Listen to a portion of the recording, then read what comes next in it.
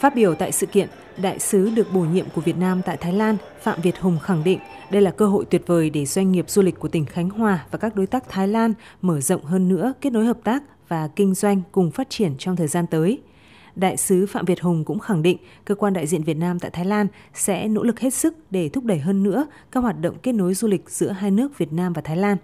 Chia sẻ nhận định của đại sứ Phạm Việt Hùng, Phó Bí thư tỉnh ủy Khánh Hòa Hà Quốc Trị cho biết, Nha Trang, Khánh Hòa từ lâu đã là một trong những điểm đến được yêu thích và lựa chọn nhiều nhất của du khách quốc tế, trong đó có du khách Thái Lan. Phó Bí thư tỉnh ủy Hà Quốc Trị kỳ vọng sự kiện xúc tiến du lịch này sẽ cung cấp thêm cho các đối tác Thái Lan các thông tin hữu ích về tiềm năng, thế mạnh, chính sách phát triển, điểm đến, sản phẩm dịch vụ du lịch của tỉnh Khánh Hòa cũng như tạo điều kiện cho các doanh nghiệp hai bên kết nối chặt chẽ hơn. Có mặt tham dự sự kiện, ông Siti Chai, Phó Chủ tịch Hiệp hội Đại lý Du lịch Thái Lan cho biết. ประเทศเวียดนามเนี่ยเป็นประเทศที่มีการเติบโตและมีศักยภาพทางด้านการท่องเที่ยวเนี่ยมาก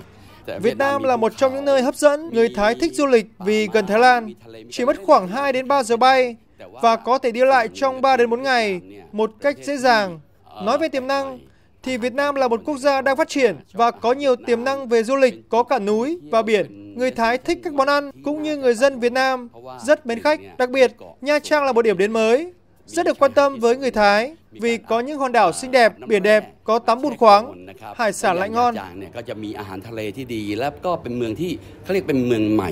สำหรับคนไทย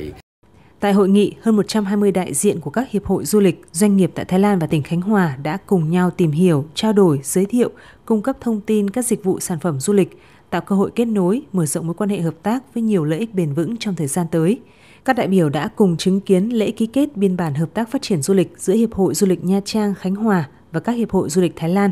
Trong khuôn khổ hội nghị, các doanh nghiệp của tỉnh Khánh Hòa cũng đã bố trí khu vực trưng bày các sản phẩm, ấn phẩm quảng cáo, giới thiệu về sản phẩm dịch vụ du lịch của từng đơn vị tới các đối tác Thái Lan.